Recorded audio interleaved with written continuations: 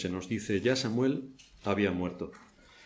Y todo Israel lo había lamentado, y le habían sepultado en Ramá, su ciudad, y Saúl había arrojado de la tierra a los encantadores y adivinos. Se juntaron pues los filisteos y vinieron y acamparon en Sunem, y Saúl junto a todo Israel, y acamparon en Gilboa. Y cuando vio Saúl el campamento de los filisteos, tuvo miedo y se turbó su corazón en gran manera. Y consultó Saúl a Jehová, pero Jehová no le respondió ni por sueños, ni por Urín, ni por profetas. Entonces Saúl dijo a sus criados, Buscadme una mujer que tenga espíritu de adivinación para que yo vaya a ella y por medio de ella pregunte. Y sus criados le respondieron, He aquí hay una mujer en Endor que tiene espíritu de adivinación. Y se disfrazó Saúl y se puso otros vestidos y se fue con dos hombres. Y vinieron a aquella mujer de noche y él dijo, Yo te ruego que me adivines por el espíritu de adivinación y me hagas subir a quien yo te dijere. Y la mujer le dijo, He aquí tú sabes lo que Saúl ha hecho, cómo ha cortado de la tierra a los evocadores y a los adivinos. ¿Por qué pues pones tropiezo a mi vida para hacerme morir? Entonces Saúl le juró por Jehová, diciendo, Vive Jehová, que ningún mal te vendrá por esto. La mujer entonces dijo, ¿A quién te haré venir? Y él respondió, Hazme venir a Samuel. Y viendo la mujer a Samuel, clamó en alta voz y habló a aquella mujer a Saúl, diciendo, ¿Por qué me has engañado? Pues tú eres Saúl. Y el rey le dijo, No temas, ¿qué has visto? Y la mujer respondió a Saúl, He visto dioses que suben de la tierra. Él le dijo, ¿Cuál es su forma? y ella respondió, Un hombre anciano viene, cubierto de un manto. Saúl entonces entendió que era Samuel, y humillando el rostro a tierra hizo gran reverencia. Y Samuel dijo a Saúl, ¿Por qué me has inquietado haciéndome venir? Y Saúl respondió, Estoy muy angustiado pues los filisteos pelean contra mí, y Dios se ha apartado de mí, y no me responde más, ni por medio de profetas, ni por sueños. Por esto te he llamado, para que me declares lo que tengo que hacer.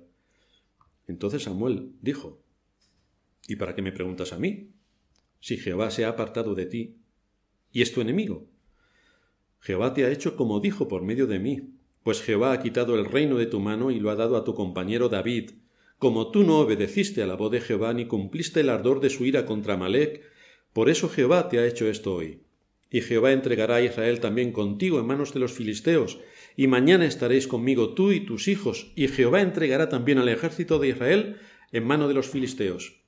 Entonces Saúl cayó en tierra cuán grande era, y tuvo gran temor por las palabras de Samuel, y estaba sin fuerzas, porque en todo aquel día y aquella noche no había comido pan. Estuvimos viendo cómo Saúl se quedó impactado y con miedo al ver al ejército filisteo que estaba dispuesto a atacar de nuevo a Israel, aprovechando la muerte del profeta Samuel, de quien dijimos que era el líder que realmente le daba el Espíritu de Dios y la fuerza al pueblo de Israel para guiarlos. En aquellos tiempos, y así ha sido durante muchos siglos, casi hasta hace muy poco, el método que las distintas tribus utilizaban para engrandecerse y para obtener recursos era el saqueo. Es saquear todo lo que estuviera al alcance de su mano. Era una costumbre. Luego veremos en tiempos de David un poco más adelante, como se nos dirá en el texto bíblico, que David salió a la guerra como era costumbre, costumbre de los reyes en aquella época. Es decir, había una costumbre de ir a saquear a quien estuviese al lado. Esta era la práctica habitual para incrementar los ingresos y tener recursos. No solamente obtenían ingresos por los impuestos a los que sometían a sus ciudadanos, sino que también llevaban a cabo el saqueo en todos aquellos lugares que estaban cerca de las poblaciones donde ellos estaban asentados.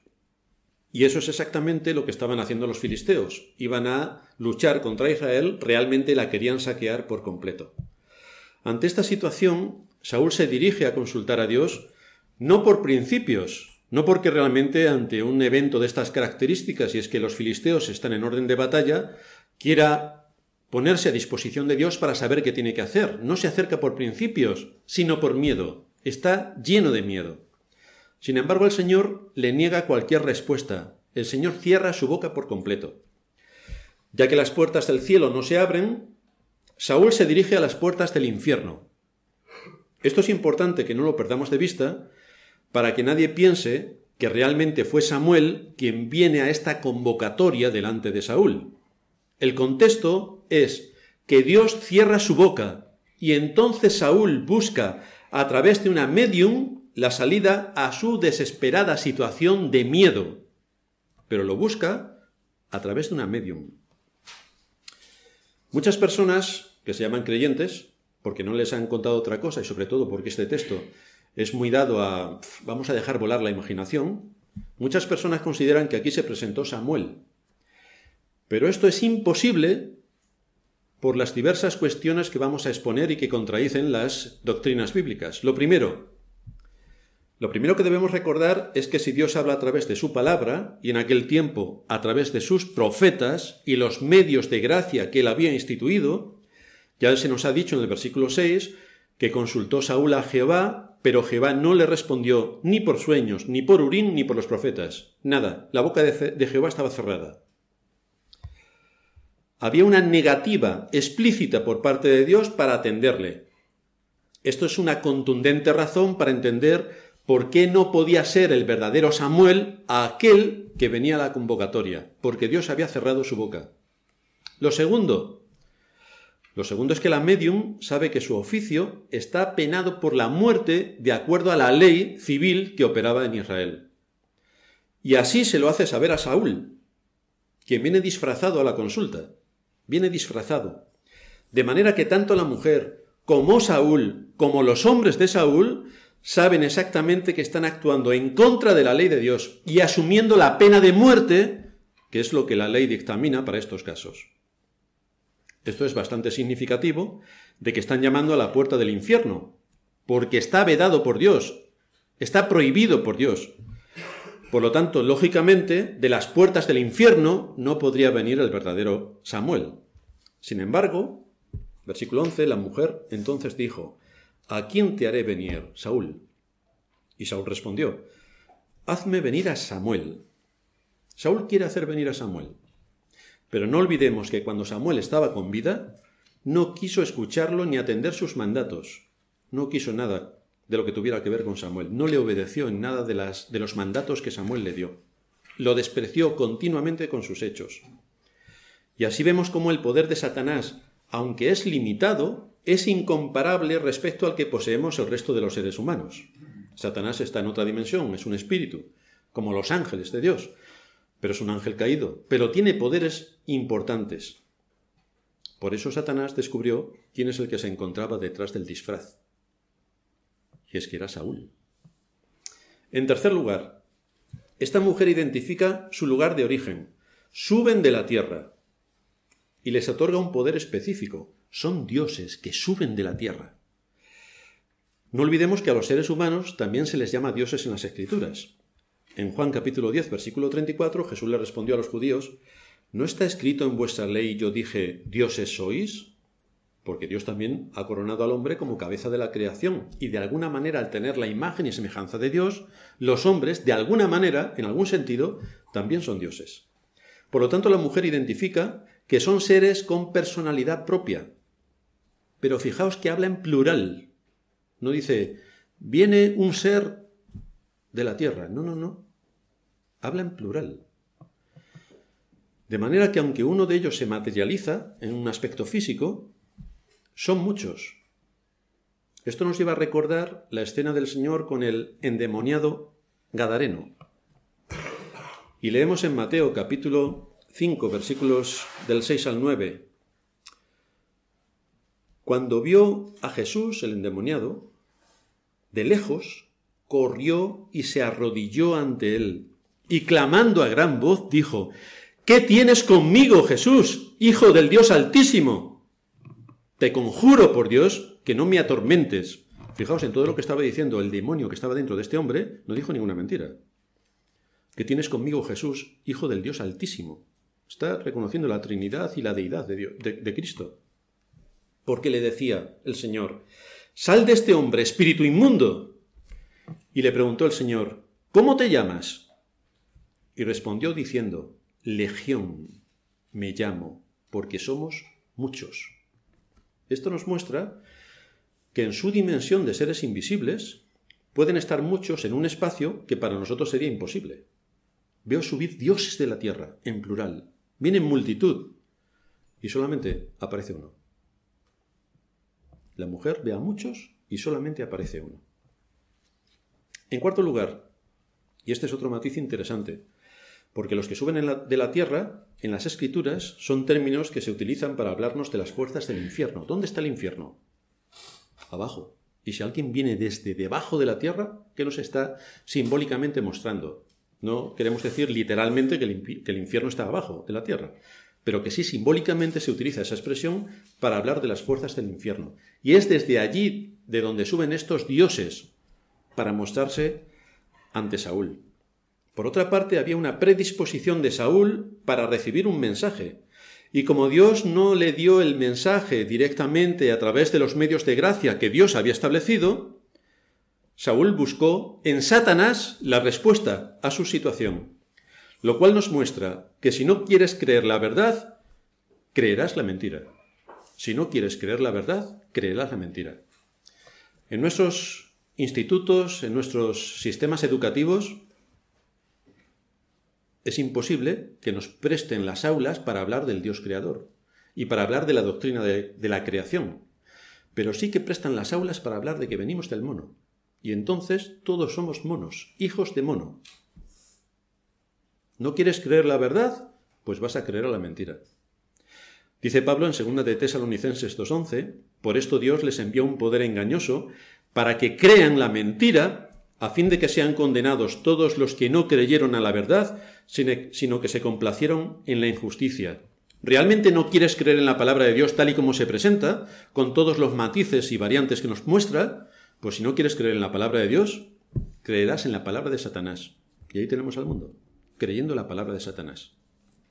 Saúl no creyó la palabra del profeta cuando estaba vivo. No aceptó la palabra de Dios que le era comunicada por el medio de gracia que Dios había establecido, que era el profeta.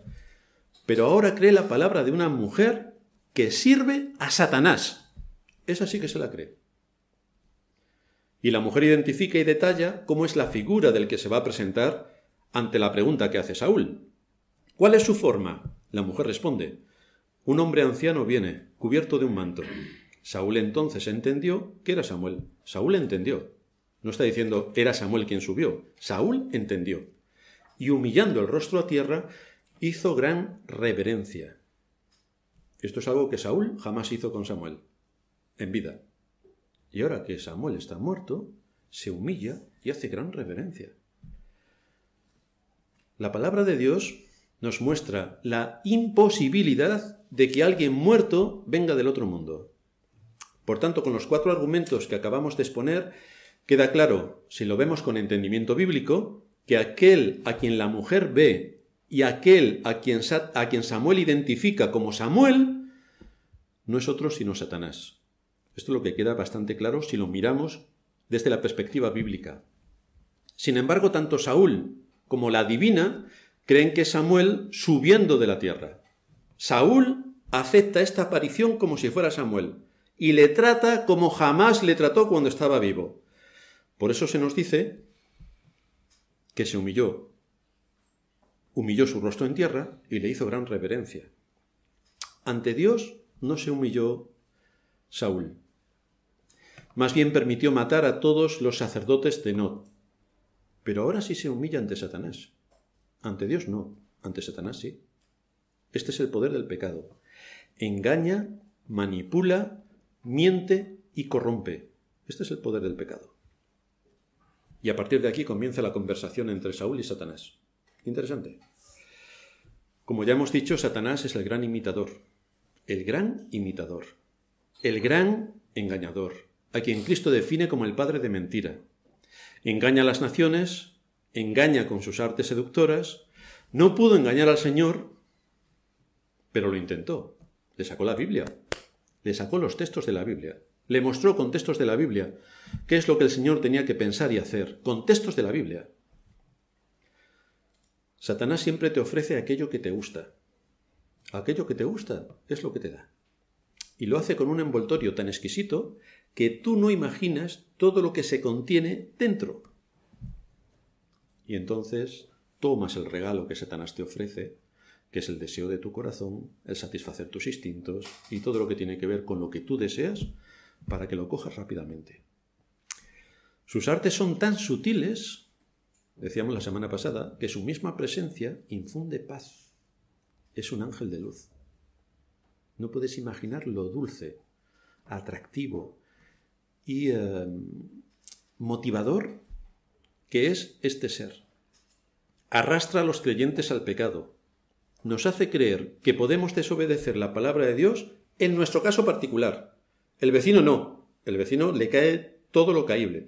Pero en nuestro caso particular estamos completamente exentos de cualquier imputación del pecado que nos haga la Biblia, porque en nuestro caso particular hay justificaciones. Somos muy severos con otros, pero muy complacientes con nosotros mismos. Su nivel de engaño llega a tal posición que Pablo nos dice, lo repetíamos la semana pasada, se opone y se levanta contra todo lo que se llama Dios o es objeto de culto, tanto que se sienta en el templo de Dios como Dios, haciéndose pasar por Dios. Satanás usurpa el lugar que le corresponde a Dios. Maquilla todo tipo de transgresión contra Dios. Así cuando se atenta contra un mandamiento o contra un principio, no es algo que el supuesto creyente le afecte, porque su caso es distinto al que muestra la escritura. La propia naturaleza corrompida del ser humano, tocada con las artes seductoras de Satanás, ha maquillado, ha dejado dormida la conciencia y entonces se pueden cometer todo tipo de pecados tan contentamente, tan alegremente, porque parece que nada va con nosotros. El orgullo, el egoísmo, los deseos del corazón, todo es maquillado para evitar que aparezca como un atentado contra la ley de Dios. En nuestro caso particular no es así. Por eso estábamos comentándolo también en la clase de homilética, o, con Solín lo comentaba el otro día, cuando hablamos de, hermanos, a que todos somos pecadores. Todos decimos que somos pecadores. Ahora, hermano, tienes un pecado de soberbia. Tienes un pecado de egoísmo. Tienes un pecado de orgullo. Tienes un pecado de idolatría. Tienes un pecado de holgazanería. Nadie reconoce ninguno de los pecados particulares. En general, sí, todos somos pecadores. Pero cuando la Biblia apunta, ¡fum! y va al detalle, es muy difícil. Es muy difícil. No ya identificar el pecado, sino cuando se ha identificado reconocerlo. Es muy difícil. Pero la diferencia entre un impío y un verdadero creyente es el arrepentimiento. Es el arrepentimiento. ¿Hay arrepentimiento? Ese es el signo distintivo entre el Hijo de Dios y el Hijo de Satanás. Pero si no hay predicación de la palabra, como en muchos casos ocurre, ¿cómo podrán conocer la voluntad de Dios para ser guiados por el camino de justicia y de santidad y reconocer sus pecados, arrepentirse de sus pecados, pedir, perdón por sus pecados? Si no hay predicación de la palabra, esto es imposible. Por eso nos dice la Biblia en Isaías 8:20, a la ley y al testimonio, y si no dijeren conforme a esto, es porque no les ha amanecido. Fijaos que no dice, a la emoción y al deseo de mi corazón. Este es el sentido que le tengo que dar a lo que debo creer en cuanto a Dios y a su palabra. No es la, la emoción y el deseo de mi corazón, es la ley y el testimonio. Si no nos sometemos a la ley de Dios, y si no hay un testimonio de acuerdo a la ley de Dios, no a lo que piensa el mundo, sino de acuerdo a la ley de Dios, es que estamos andando por un camino bastante profano. Pero volvamos a la conversación entre Saúl y el supuesto Samuel, donde se empiezan a dar las verdades a medias.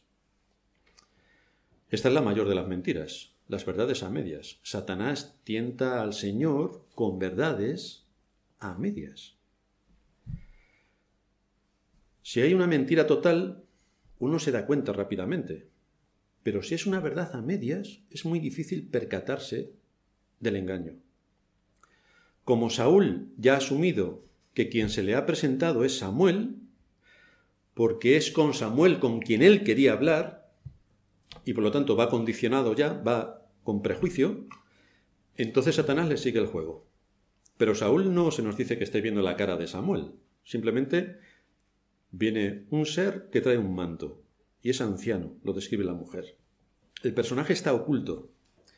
Sin embargo, el desarrollo de la conversación le confirma a Saúl que ese personaje no puede ser otro sino Samuel, por los datos que le está aportando. Samuel dijo a Saúl, ¿por qué me has inquietado haciéndome venir? ¿De dónde vienes, Samuel? ¿Por qué me has inquietado? Esto es interesante porque si imaginásemos supuestamente que fuese Samuel, lo que nos está mostrando el texto es que el deseo de un rey apóstata y una hija de Satanás pueden convocar a un hijo de Dios para que venga a este mundo. ¿Esto alguien se lo puede creer? Un rey apóstata y una hija de Satanás convocan a un hijo de Dios y lo hacen salir de su lugar celestial para que venga a este mundo. ¿De verdad alguien se lo puede creer? Bíblicamente hablando. Pues así lo entendió Saúl y así lo entienden multitud de personas que se llaman creyentes.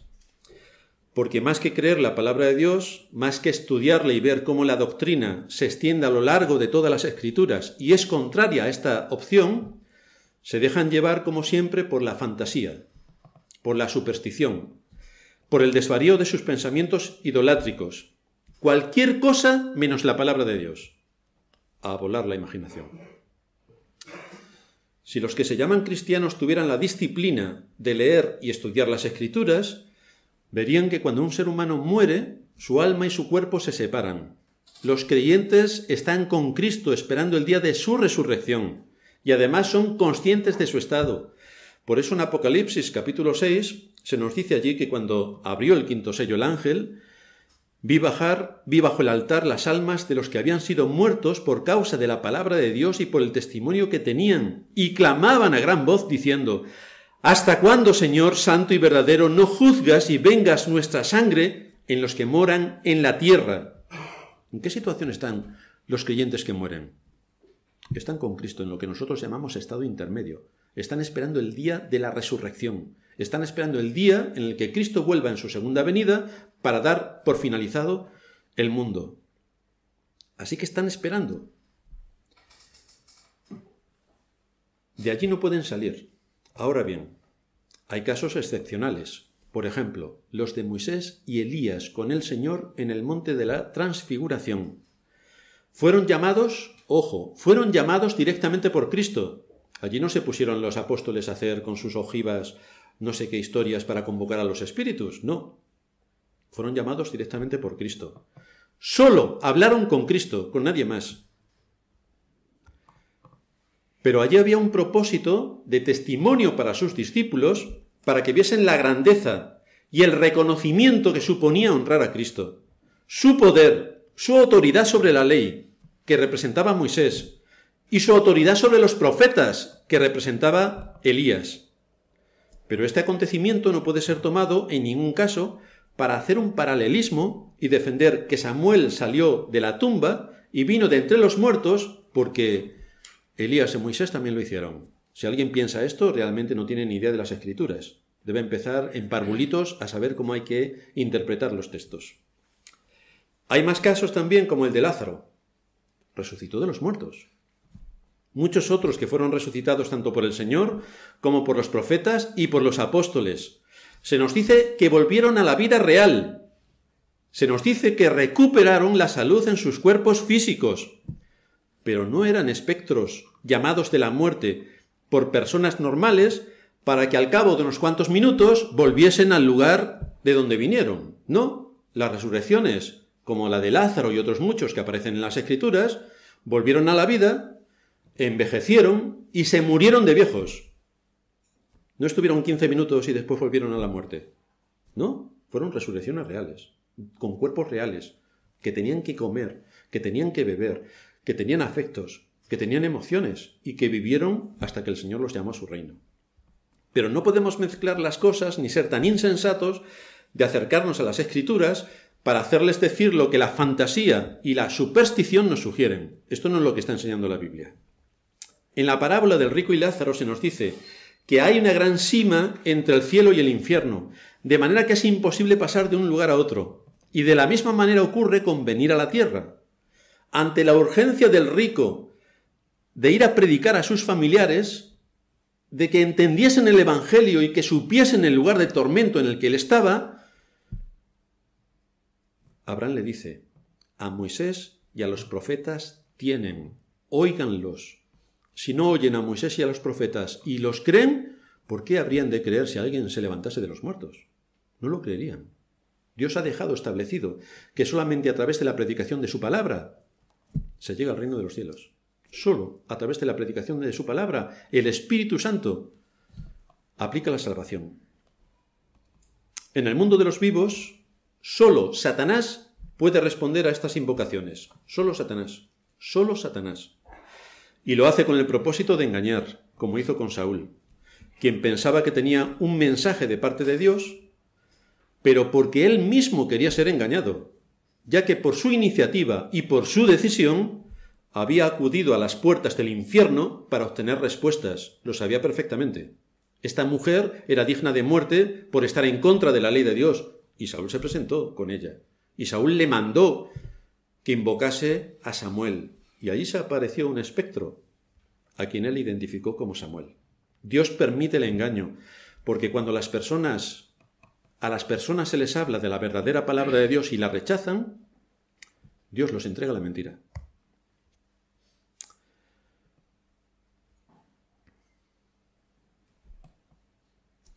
Saúl se dejó llevar por el, por el atuendo que traía Samuel. No pidió ninguna otra prueba y confió en la palabra de la mujer y en lo que Samuel, el supuesto Samuel, estaba contando. Esto ocurre con muchos que se llaman creyentes, que más bien son supersticiosos. Dan más credibilidad a las señales que a la palabra de Dios. Esto fijaos que también ocurría cuando el Señor vivía. Lucas 11:20. Apiñándose las multitudes comenzó a decir, Esta generación es mala, demanda señal. Pero señal no le será dada, sino la señal de Jonás. Fijaos en las palabras del Señor. Esta generación es mala. ¿Por qué es esa generación mala? Porque demanda señal. Demanda señal. Queremos una señal que nos diga que tú eres el Cristo. Queremos una señal. Pues no va a haber ninguna señal. Hoy encontramos también a muchos que demandan señal. Señal de lenguas, porque si no, no tienes el espíritu. Señal de lenguas. El Señor dice, esta generación es mala, demanda señal. Señal de señales, señal de milagros. Esta generación es mala, demanda señal. La palabra de Dios no les importa, les importa la señal. Pero hay severas advertencias respecto a la señal. Marcos, Mateo 24, 23. Si algunos dijere, mirad, aquí está el Cristo, o mirad, allí está, no lo creáis. Porque se levantarán falsos cristos y falsos profetas, atención, y falsos profetas, y harán grandes señales y prodigios, de manera que engañarán, si fuere posible, a los escogidos. No les es posible, pero si le fuera posible lo harían, pero no lo harán. Ya os lo he dicho antes, vendrán con este propósito. Profetas. Hoy los profetas de nuestros días cuentan cuentos. Te dicen, ¿te vas a casar? Pues claro, evidentemente, en condiciones normales ya sé que me voy a casar. Y además te vas a morir de aquí a unos años. Pues efectivamente, es un verdadero profeta. Yo me voy a morir de aquí a unos años. Pues muy bien. ¿Algo más aparte de eso? ¿Y lloverá esta semana? Pues claro, estamos en otoño, con el tiempo que hace, pues efectivamente va a llover esta semana, sí, sí. Pero además, aparte de eso, ¿hay algo más? Pero es que la Biblia dice que incluso aunque hicieran milagros, aunque hicieran milagros, no los creáis. No los creáis. Así que tenemos severas advertencias para que si incluso en el entorno en el que nos movemos llega alguien haciendo milagros, resucitando a gente de los muertos, al que no tiene brazo le da un brazo, al que tiene los ojos que no ve bien, resulta que ve bien, al que es feo lo pone guapo y al que es guapo más, no lo creáis, no lo creáis. Es, es una treta diabólica para quitar de tu mente la fe en el Dios vivo y verdadero y que confíes en Satanás. Esto es lo que también nos anuncia la Escritura respecto a los que hacen señales. Apocalipsis 13:23 también hacen grandes señales de tal manera que aún hace descender fuego del cielo a la tierra delante de los hombres. Grandes señales. Y engaña a los moradores de la tierra con las señales que se le ha permitido hacer en presencia de la bestia. Grandes señales. No los creáis. Es todo mentira. Es todo mentira. A pesar de todas estas severas advertencias de Cristo, hoy todavía hay grandes multitudes en iglesias que se llaman cristianas que demandan señal. La palabra de Dios no les basta. Necesitan señal. Ahí tenemos el don de lenguas, la señal. El don de sanaciones, la señal. Señales y señales. Es decir, están haciendo lo mismo que Saúl. Señal. La palabra de Dios no fue aceptada ni creída por él, pero sí aceptó la señal de este hombre anciano con manto, que le hablaba de cosas que habían ocurrido. Y ahí tenemos en la misma situación a toda esta gente que se llama cristiana, como Saúl, y que por causa de lo que sus hechos evidencian, irán al mismo lugar que Saúl, al mismo lugar. Sí, pero leemos la Biblia. Saúl también lo haría. Y Satanás no os cuento lo que sabe de Biblia, más que ninguno de nosotros. Esto nos muestra una terrible verdad.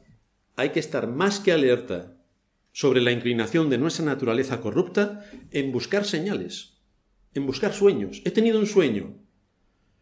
Una pena que no hayas tenido una pesadilla sobre el infierno y cómo tienes que ir a Cristo para que para mostrar tu arrepentimiento. No hay sueños, como en tiempos antiguos, porque ahora tenemos la Biblia. Cuando la palabra de Dios no basta, entonces Dios permite el engaño satánico. Cuando la palabra de Dios no basta, Dios permite el engaño satánico. Fijaos lo que nos encontramos en la carta a Timoteo, la segunda carta, capítulo 3, versículos 17 y 18.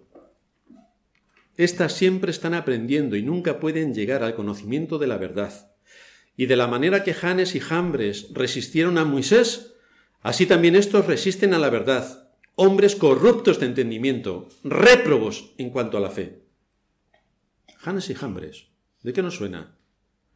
Si nos vamos a la historia de Moisés, recordaremos que cuando Moisés está delante de Faraón, no está escrita la Biblia y por lo tanto tiene que mostrar su autoridad, toma su bastón, lo tira al suelo y se convierte en una serpiente.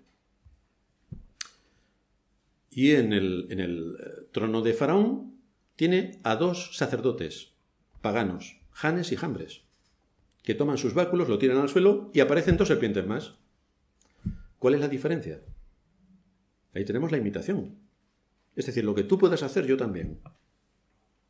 Moisés tira su báculo al suelo, se convierte en una serpiente, los dos sacerdotes falsos tiran su báculo al suelo y se convierte en una serpiente. El gran imitador. Dios ya nos ha dejado su palabra, ya no hay más señales, porque tenemos la palabra de Dios. Entonces, ¿por qué hoy se levantan profetas en medio de un pueblo que se llama creyente y resulta que están haciendo lo mismo que los encantadores de Faraón. Si los encantadores de Faraón eran falsos, ya me contaréis que son los profetas de nuestros días. Falsos con mayúscula. A ellos no les es suficiente la palabra de Dios. No les basta con estudiar las escrituras y someterse a su enseñanza. No, tienen que hacer señales. El asunto, según la Biblia, es que todas sus señales son obra de Satanás. Todas sus señales son obra de Satanás. Es curioso que la Iglesia de Roma, para declarar santo a alguien, lo hace en función de los milagros que ha realizado. Entonces realiza milagros y es santo. Desde luego, es una señal de Satanás increíble para alejar a las gentes del verdadero Dios. Y por lo tanto, como es un santo y lo ponen en una vitrina, todos se inclinan delante de la vitrina para rendirle culto a ese santo que la Iglesia católica romana ha establecido como santo. Y ahí están también la mayoría de las iglesias que se llaman evangélicas, creyendo en señales, creyendo en sueños, lo cual no es sino superstición. Y Dios nos enseña a rendir un culto racional y hacerlo todo con una mente instruida en las doctrinas bíblicas. Pero no. A esta gente lo mejor que les suele parecer lo de la escritura es que las palabras, la ciencia no va con ellos. Tienen que ser cuanto más ignorantes mejor, porque ellos entienden que ese es un síntoma de santidad. Es decir, cuanto más tonto seas, más santo eres. Pero esto no es lo que enseña la escritura. La escritura nos insta a profundizar en su palabra, en la palabra de Dios. Mi pueblo pereció. ¿Por qué pereció el pueblo de Dios? Porque le faltó conocimiento. Porque le faltó conocimiento. Ahora pongámonos, pongamos atención al mensaje del falso Samuel y la exhortación que le da a Saúl, que parece de lo más piadosa. Es un ángel de luz. Versículo 15. Samuel dijo a Saúl, ¿por qué me has inquietado haciéndome venir? Y Saúl respondió, estoy muy angustiado, porque los filisteos pelean contra mí, y Dios se ha apartado de mí, y no me responde, ni por medio de profetas, ni por sueños. Por esto te he llamado, para que me declares lo que tengo que hacer. Entonces Samuel dijo, ¿y para qué me preguntas a mí? Si Jehová se ha apartado de ti y es tu enemigo, todo lo que le está diciendo es verdad. Jehová te ha hecho como dijo por medio de mí. Esto sí que es mentira, pero la verdad es, a medias, es lo que tienen. Jehová ha quitado el reino de tus manos y lo ha dado a tu compañero David. Como tú no obedeciste a la voz de Jehová, ni cumpliste el ardor de su ira contra Amalek, por eso Jehová te ha hecho esto hoy. Y de la misma manera muchos son engañados. Cuando van a una supuesta iglesia, consideran que porque se cita un texto bíblico o porque hablan de Cristo, esa es la fórmula mágica para deducir que aquello es una iglesia verdadera. Hombre, pues no, porque Satanás también habla de Dios y Satanás se sabe la Biblia de memoria y porque se ponga Satanás delante de nosotros a recitarnos la Biblia, no tenemos que decir que el lugar donde está Satanás es una iglesia. Tenemos que ver la ley y el testimonio. La ley y el testimonio. Aunque Satanás se sepa toda la ley, ¿el testimonio de su vida es congruente con la ley? No, ya no tenemos nada más que hablar. De estas supuestas iglesias, de la ley no saben nada, porque le preguntas el primer mandamiento y te dicen amarás a Dios sobre todas las cosas. Es decir, de la ley no saben nada. No se saben cuál es el primer mandamiento.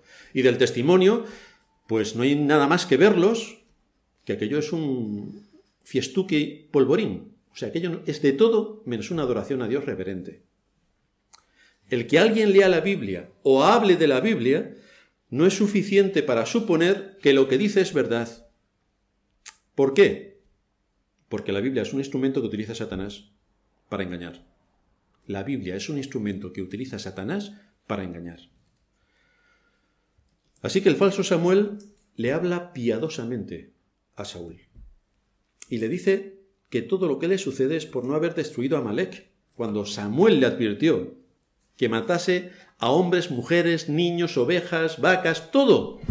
Y Saúl dijo, las vacas con lo hermosas que están, las ovejas, el ganado, esto yo lo guardo. Así que cuando Samuel llega y dice, ¿qué bramido de vacas y qué es lo que oigo yo por ahí? Que no has matado entonces a todos los animales? Y entonces Saúl, para salir de su situación de pecado, dijo, sí, sí, sí, es que lo he guardado para sacrificarlo a Dios. Ya, pero eso no era el mandato de Dios. Dios te ordenó que los matases. No dijo, a ver, a ti qué te parece que vas a hacer con el ganado. Dios te ordenó que lo matases. Tú has desobedecido, ya está. Luego no tenemos que buscar nuestras justificaciones. De es que nosotros hacemos esto por esta razón. Bueno, pero a Dios no le tienes que dar razones. Obedece, obedece obedece. Pero todo lo que le está contando el supuesto Samuel era de dominio público. No había que ser muy adivino para dar esta información. De ahí que el engaño siempre viene en el contexto de la verdad. El engaño siempre viene en el contexto de la verdad, en la que se introducen matices, y son los matices lo que nos llevan a la mentira. Por ejemplo, diferencia entre la mentira y el engaño. Ayer el Atlético perdió 6-1. Solamente tenemos que, los que han visto el, partido verán que eso es, eso es una mentira, porque fue exactamente al revés, más o menos. O 7-1. Eso es una mentira. Ahora si yo digo, por fin el Betis le metió un gol al Madrid, y ahí me cayó. ¿La gente qué piensa? Que el Betis ha ganado por un gol al Madrid. Y luego seguimos la secuencia.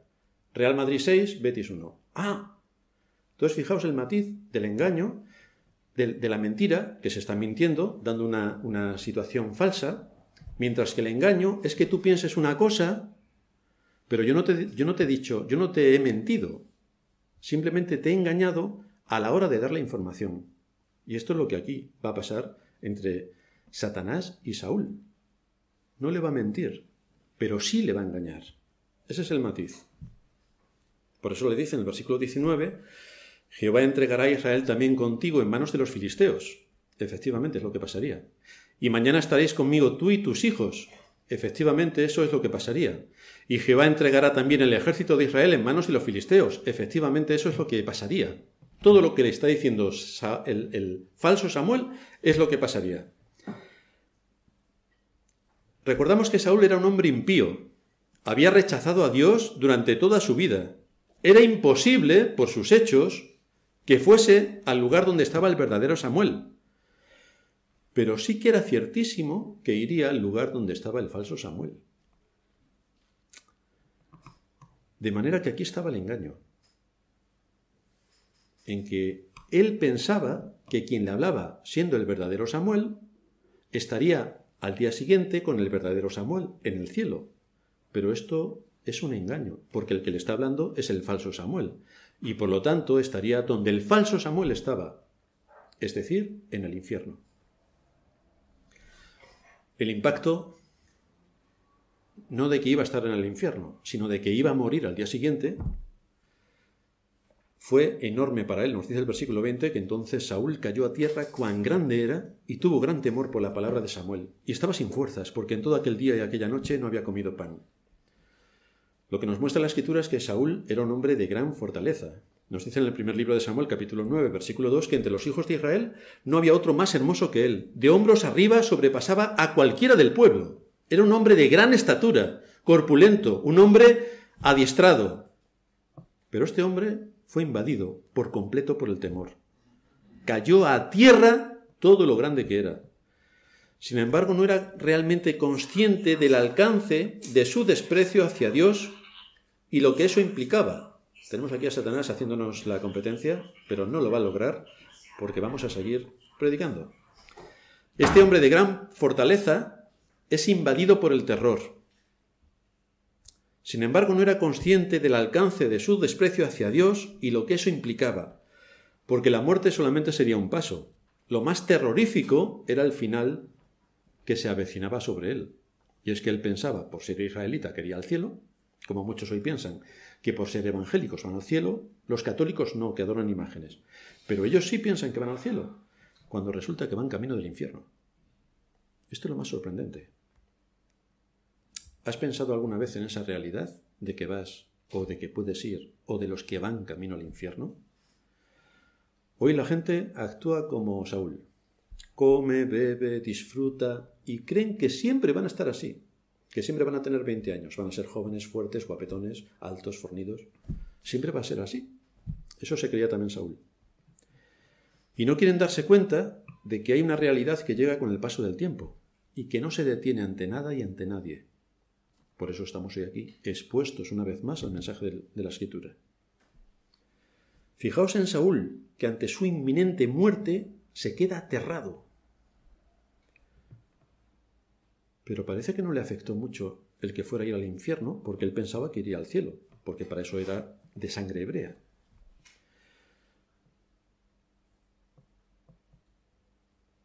A este hombre se le predicó también.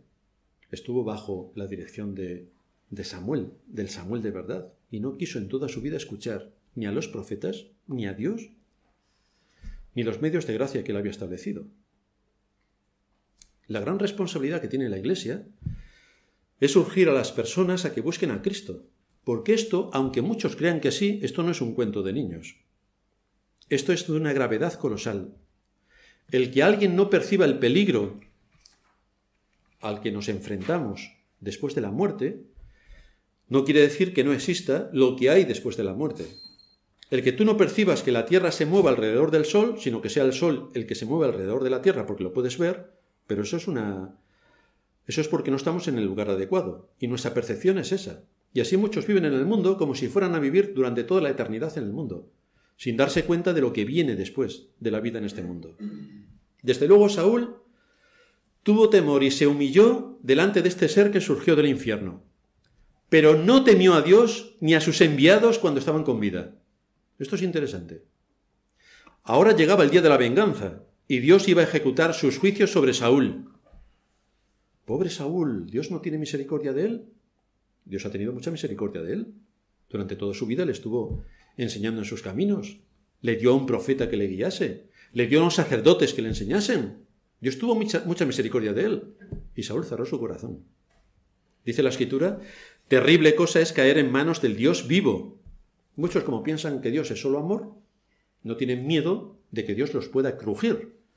Pues efectivamente, terrible cosa es caer en manos del Dios vivo, el Dios de amor ante el que muchos se escudan para seguir viviendo sus vidas como si Dios no existiera, al que en muchas culturas le llaman con apelativos cariñosos que son insultantes,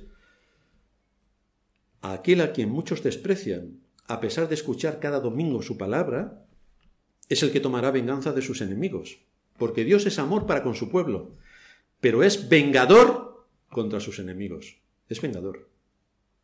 Por tanto, si no estás en Cristo, prepárate. Si no estás en Cristo, prepárate. Aquellos que no obedecen a Dios ni tiemblan ante su palabra, no pueden esperar otra respuesta que la de Saúl. ¿Tú quieres ser engañado? Toma, Saúl. Tú que dices que eres cristiano, ¿quieres ser engañado? Toma, te vamos a engañar. Saúl siguió el deseo de su corazón, atendió a las señales por encima de lo que la palabra de Dios le decía, y encontró la puerta directa al infierno.